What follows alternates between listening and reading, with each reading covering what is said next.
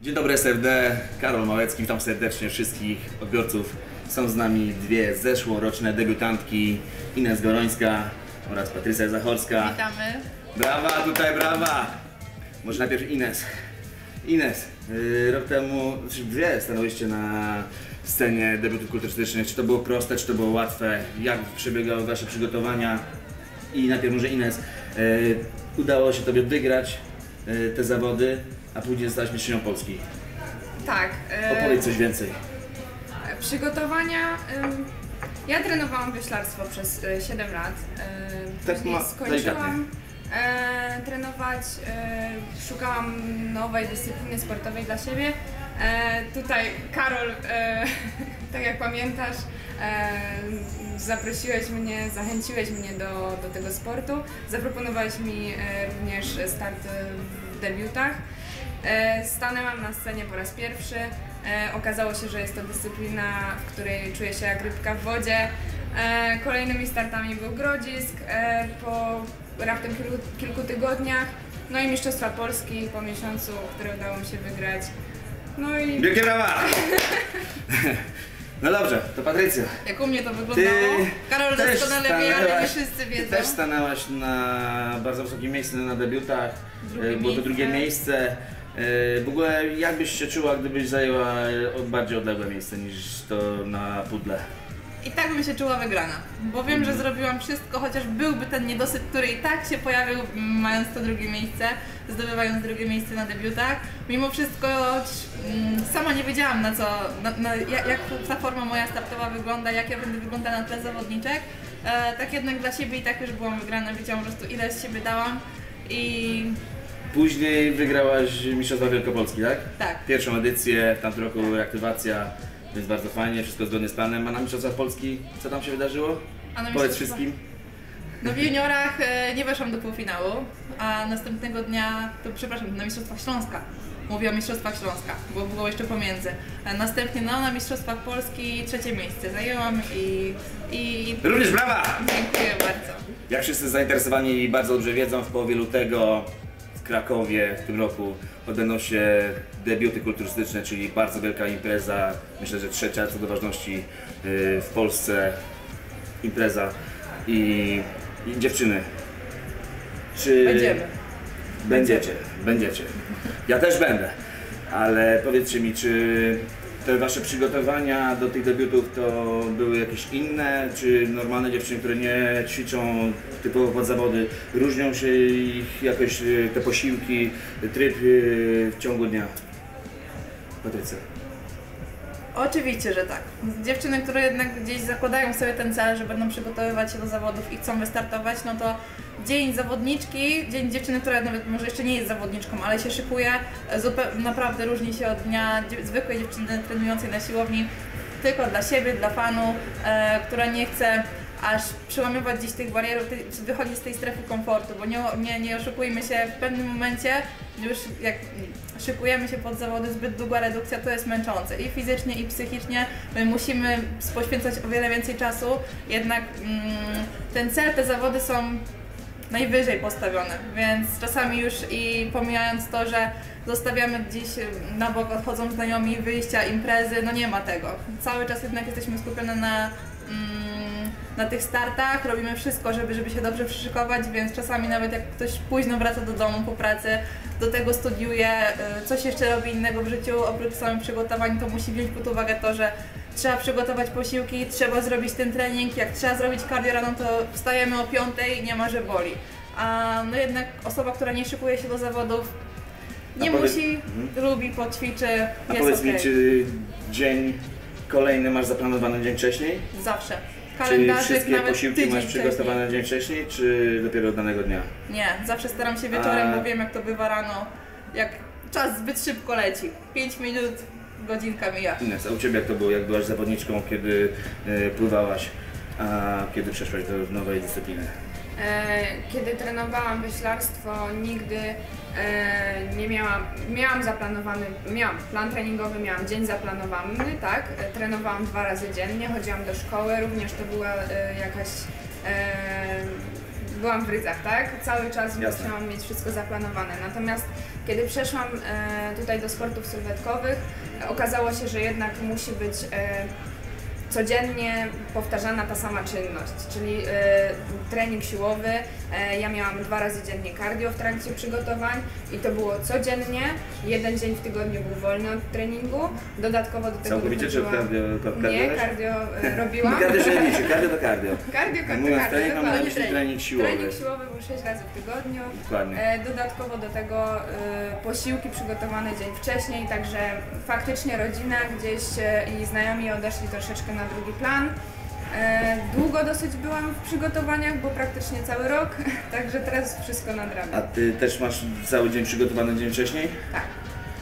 Czyli bardzo Wsta- fajnie. Wstaję bardzo wcześnie, także A dziewczyny powiedzcie mi, bo obserwujemy, że z roku na rok coraz więcej zawodników startuje, tak? Debiuty to w ogóle jest coś niesamowitego, niesamowitego. Rok temu hala we Wrocławiu nie pomieściła, było bardzo ciasno i nie było tak fajnie, dlatego już tam nigdy pewnie nie będzie powtórzona impreza. Wcześniej w Gdańsku, gdzie też potężne hale, teraz no mamy nadzieję, że będzie też potężne miejsce, fajna sprawa. A powiedzcie, yy, no jakby to obserwujecie, kiedy zanim jeszcze nie startowałyście, wystartowałyście i teraz co się dzieje? Ja chciałam zmienić dyscyplinę sportową. Szukałam czegoś, e, gdzie będę się czuła dobrze, w czym będę mogła się spełniać. Natomiast widzę, co się dzieje obecnie w mediach społecznościowych. E, Są dziewczyny, które e, bardzo chcą startować, natomiast no, nie do końca wiedzą chyba z czym to się je. Nigdy nic nie trenowały.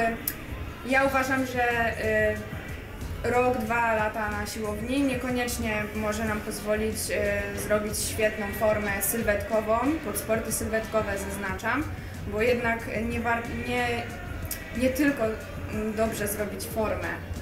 No jasne. Natomiast- Oczywiście liczy się wiele więcej, cała sylwetka. Dokładnie. Umieśnienie też jest ważne, także dziewczyny, kiedy na masie wyglądają super, na końcu okazuje się, że wychodzą bardzo szczupłe na scenę, e, wręcz, Wręcz chude. No i to Dokładnie, wygląda, więc- chudość wygląda źle przecież, oczywiście. No, ja uważam, że mm, lata treningów na pewno na siłowni. A powiedz E, mi, czy jak obserwujesz ten taki wzrost? Yy, że coraz więcej, co roku coraz więcej zawodniczek, zawodników startuje, jest na scenie. To jest bardzo, bardzo fajne, ponieważ no, sport nasz się rozwija.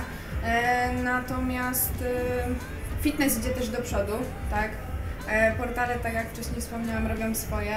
E, jest na to teraz e, sport popularny się stał. Wszyscy chcą być zdrowi, chcą być fit, chcą się świetnie czuć i dobrze wyglądać. Wy debiutowałyście rok temu, ja debiutowałem w 2009 roku i wtedy jeszcze nie bikini to był początek, Tak. a fitness plażowe mężczyzn jeszcze wtedy w ogóle nie było. Tak, Więc ale też nie był tak jeszcze więc- więc, więc rozwinięty w ogóle- Instagram i Tak, Facebook, tak, więc w ogóle tych jest teraz- kategorii te, te, te też nie było, więc nie obserwowaliśmy czegoś takiego, że na scenie stoi 40 zawodników, tak? W, w jednej kategorii jest jeden zwycięzca.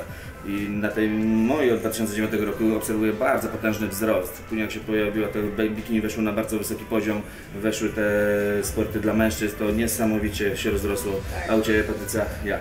Jak Ty to obserwujesz? Jak Ja jestem zadowolona z tego wzrostu liczby, za, liczby zawodników. Wiadomo, każdy chce się sprawdzić, ktoś trenuje, ktoś chce postawić sobie jakiś nowy cel, zobaczyć. Ja też na początku potraktowałam to tak trochę jako przygodę. Zaproponowali mi znajomi, słuchaj Patrycja, no trenujesz, praktycznie codziennie jesteś na siłowni, przytrzymaj dietę, zobaczymy co z tego wyjdzie. Yy, wystartuj bikini fitness. I pierwsze moje pytanie, czym jest bikini fitness? Wiem, czym jest kulturystyka, wiem, czym, czym to, no nie wiedziałam, czym to się je, ale wiedziałam, jak to wygląda, czym to się charakteryzuje, ale nie miałam pojęcia o bikini fitness. Przeczytałam, szukałam informacji, nie było ich aż tak dużo e, rok temu, jak jest ich już teraz.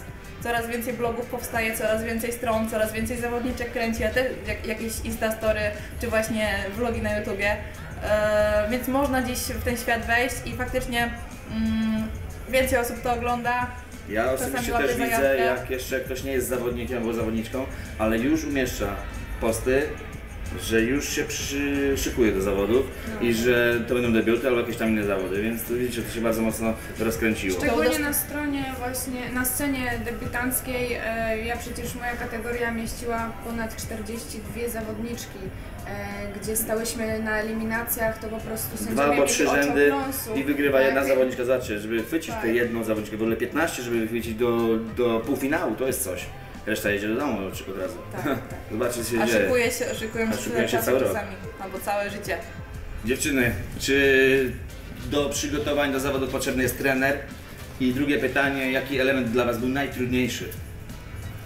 Ines. Ja myślę, że e, każda zawodniczka powinna mieć e, swojego trenera, e, ponieważ są osoby, które potrafią do pewnego momentu poprowadzić się same, owszem. Natomiast kiedy przychodzi czas ostatnich tygodni przed zawodami, my nie widzimy jakby sami tej formy. Albo może nie chcemy widzieć, Dokładnie. To ale już spojrzenie kogoś z zewnątrz to zupełnie inny obraz. Tak, e, i samą tą końcówkę, czyli okres taki e, nawadniania, odwadniania, jakiegoś ucinania kalorii. No to trzeba się odwadniać?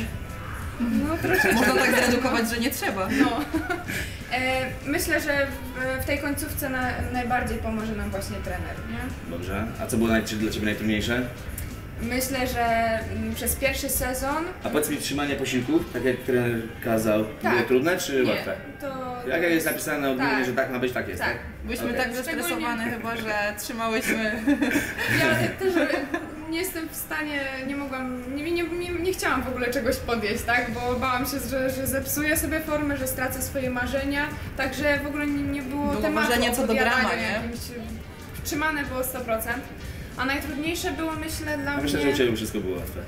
e, przez pierwszy sezon wiosenny e, przeszło powiedzmy gładko, tak? No właśnie, Wy nie wiedzieliście, a ja obserwowałem Ines, co się działo dalej yy, i ten sezon jesienny No był dla mnie przeszłaś ciężki. dość ciężko, prawda? Tak, był dla mnie ciężki. Ja też kiedyś nie rozumiałem o co chodzi, jak ktoś mówił, że czuje się zmęczony i potrzebuje sezonu na odpoczynek.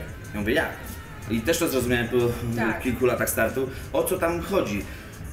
Dochodzi takie zmęczenie, że nie macie ochoty na nic, forma się w ogóle nie poprawia, No nic my wam się robimy nie chce. więcej, a forma jest Dokładnie. nawet gorsza niż była na początku. E, drugie przygotowania moje na sezon jesienny miałam, e, trwały, były dla mnie gorsze. To było dla mnie najtrudniejsze w zasadzie w całym roku, bo e, już byłam głodna. E, forma się nie poprawiała, czyli w psychice czekaj, ty nic, było... czekaj, ty nic nie jadłaś? No jadłam, jadłam. Natomiast no, wiadomo, ja już byłam głodna na normalne rzeczy, tak? No, Ja też zawsze jestem głodny pod koniec. Od posiłku do posiłku, Dokładnie. już po pół godziny od A zjedzenia. trzymać sobie y, niskie kalorie, tak? Bo to było poniżej moich, y, mojego zapotrzebowania Gdzie ta forma rok. już jest mocno odpuszczona Tak, i tak. Forma się nie poprawiała, psychika jakby siadała, tak, Psychika a ja cardio robiłam dalej. Wyniszczałam troszeczkę swój organizm. Myślę, że zbyt duża ilość aerobów też mnie była Słuchajcie, bo też nie? jesteście debiutantami, żebyście nie popełniali błędów, ale to i tak na własnej skórze musicie przerobić, wtedy dokładnie będziecie wiedzieć o co chodzi. Dokładnie. Patrycja, Jakie było pierwsze pytanie? Bo czy trener dwa. jest potrzebny? Oczywiście, że jest potrzebny. Zawsze musi być gdzieś ta osoba, która ma nad tobą kontrolę, widzi jak ty wyglądasz, bo ja sama em, nie wstawiałam za dużo zdjęć ani filmików z tamtego okresu, kiedy się szykowałam. E, co prawda teraz to oglądam i patrzę, wow, mega już była forma na dwa miesiące wcześniej, miesiąc wcześniej przed, przed pierwszym wyjściem na scenę, a nie wstawiałam, bo wydawało mi się, że cały czas jestem za gruba. Cały czas to jeszcze nie jest to. Dokładnie. Dzień przed zawodami czekałam, a, a, aż pomalujesz mnie jeszcze wtedy brązerem. Patrzę w lustro, mówię, no nie, ale grubas. A teraz patrzę, to po prostu wyglądam jakbym nie jadła przez 4 lata. Same kości. A powiedz, co było dla Ciebie najtrudniejsze? Co było najtrudniejsze? Nauka um, eye-walkingu, Pozowanie? eye-walkingu, tak, No wszyscy, pozowanie. wszyscy wiedzą, że u Ciebie pozowanie już teraz jest dopracowane do perfekcji, robisz to wyśmienicie. Staram się, jeszcze nie jest perfekcyjnie, no wiadomo, nigdy trzeba, nie ma trzeba tego. to szkolić, żeby Nigdy. to było no, tak samo jak Ines, bardzo fajnie pozujecie, ale to same wiecie, Ale faktycznie. ile to trzeba spędzić czasu na sali, po, ciągle pozowanie, ciągle pozowanie, żeby nie chodzić jak robot. A niektóre Tak. dziewczyny chodzą tak. Ale myślę, to nie że wygląda, to jest tak? też kwestia, e, jak się czujesz na scenie, czy się stresujesz, czy Dokładnie. nie. Czy miałeś Ja- już wcześniej może styczność ze sceną? Jak ktoś tańczył, jak Tak. ktoś występował, może gdzieś grał jakieś, nie może śpiewał w chórze, ma obeznanie z ludźmi, jednak nie jest to dla niego aż tak stresująca sytuacja, bo tak samo jak będziecie się uczyć pozować, pozujcie przed ludźmi, pozujcie na siłowni, pozujcie, Tak. kręćcie filmy, wstawiajcie do ludzi, wstawiajcie na Instagram. Zawodniczki też często komentują, wysyłają, pytajcie się ludzi i, i każdy Wam pomoże. I pamiętajcie o uśmiechu. I pamiętajcie o uśmiechu, bo tym można zrobić naprawdę dużo i przykryć każdy stres. Mimo, że ręka lata w kółko, chociaż nie powinna, to tutaj jest luz. I głowa w prawo i w lewo. Jakieś digi, każdy ma jakieś tiki. Ja miałam taki dryk. Cały czas mi latała głowa.